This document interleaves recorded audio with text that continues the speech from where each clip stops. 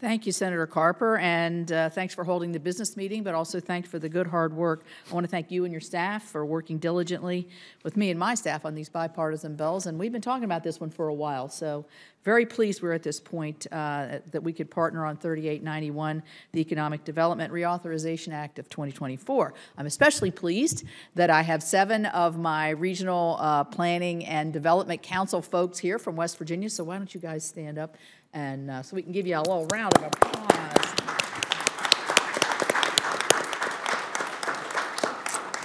And uh, you might recall uh, Shane Whitehair uh, was one of our, uh, he's here with us today.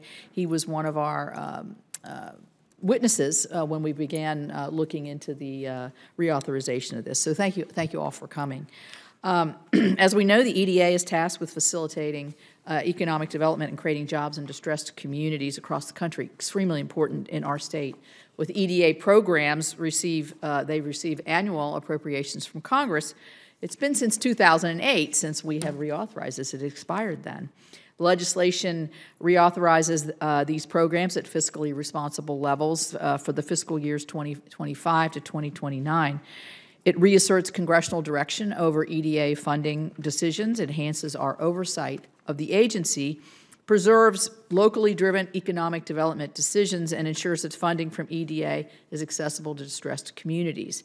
It also codifies and authorizes dedicated funding for EDA's Assistance to Coal Communities program, which was one of my top programs for the legislation. Uh, this program ensures that communities in my home state of West Virginia and also Pennsylvania as well, which were decimated by the downturn of the coal industry, have the resources they need to recover and grow. It also reauthorizes the regional commissions that were expiring or have already expired. It expands the type of activities that those commissions can carry out in their communities and modernizes their administrative requirements. This legislation incorporates policy priorities from every member of this committee as well as input from stakeholders provided at hearings, including Mr. Whitehair, who came from West Virginia. I'm pleased to co-sponsor this bill with Chairman Carper, Senator Kelly, and Senator Cramer. Uh, Today, we also will be considering S 3791, the America's Conservation Enhancement Reauthorization Act. The ACE Act uh, helps conserve wildlife and wildlife habitat.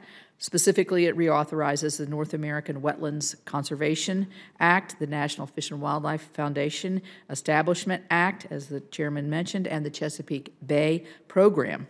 The Chesapeake Bay Program supports conservation and habitat restoration efforts in the Chesapeake Bay, which will help to boost West Virginia and many of the members of this committee's outdoor recreation industry, especially in my eastern panhandle.